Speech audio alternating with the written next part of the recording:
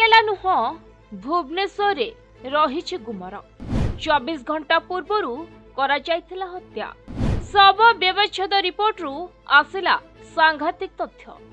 Train ଟଏଲେଟରୁ ମହିଳାଙ୍କ ମୃତଦେହ ମିଳିବା ଘଟଣାରେ ରାଉରକେଲା ଷ୍ଟେସନରେ ଛାନଭିନ କରିବା ପରେ ଭୁବନେଶ୍ୱରରେ ଅନେକ ଗୁମର ରହିଥିବା କଥା ଏବେ ସାମ୍ନାକୁ ଆସିଛି।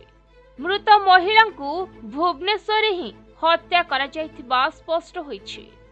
ଆଉ ମୃତଦେହ ମିଳିବାର ଚବିଶ ଘଣ୍ଟା ମଧ୍ୟରେ ମହିଳାଙ୍କୁ ହତ୍ୟା କରାଯାଇଥିବା ଶବ ବ୍ୟବଚ୍ଛେଦ ରିପୋର୍ଟରେ ପ୍ରକାଶ ପାଇଛି। ଆଉ ଏକ୍ସପର୍ଟଙ୍କ ବୟାନ ମଧ୍ୟ କିଛି ଏପରି ରହିଛି ଯାହା ସମସ୍ତଙ୍କୁ ଚିନ୍ତାରେ ପକାଇଛି।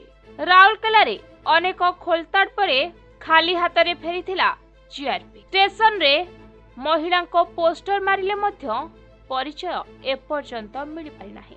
କିନ୍ତୁ ସନ୍ଦିଗ୍ଧ ମହିଳାଙ୍କ ସହ ଜଣେ ଯୁବକ କଥା ହେଉଥିବାର ସିସିଟିଭିରେ ନଜର ଆସିଛି।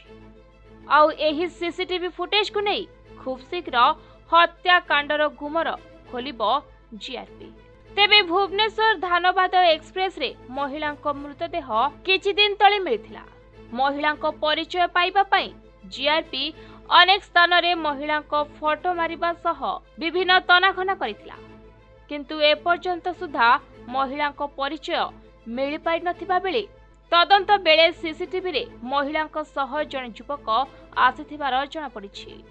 କିନ୍ତୁ ଯୁବକ ଜଣକ ଟ୍ରେନ୍ରୁ ଚଢ଼ିବା ପରେ କେଉଁଠି ଓହ୍ଲାଇଲେ ଏବଂ ମହିଳାଙ୍କ ସହ ତାଙ୍କର କି ସମ୍ପର୍କ ରହିଛି ତାହା ବର୍ତ୍ତମାନ ସୁଦ୍ଧା ସାମ୍ନାକୁ ଆସିପାରିନାହିଁ।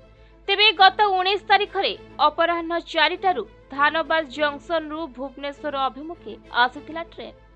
ଆଉ ଏହି ଟ୍ରେନ୍ ଆସିବା ପରେ କୋଡ଼ିଏ ତାରିଖ ସକାଳ ଆଠଟା ପାଞ୍ଚରେ ଭୁବନେଶ୍ୱର ଷ୍ଟେସନରେ ପହଞ୍ଚିଥିଲା। ଆଉ ଏଗାରଟା ସମୟରେ ୱାସିଂ ପାଇଁ ସତ୍ୟନଗର ଆସିଥିଲା। ଆଉ ସଫେଇ ସମୟରେ କର୍ମଚାରୀ ଏସ୍ ଫାଇଭ୍ ବଗିରେ ଥିବା ଟଏଲେଟରେ ମହିଳାଙ୍କ ମୃତଦେହ ଦେଖିଥିଲେ।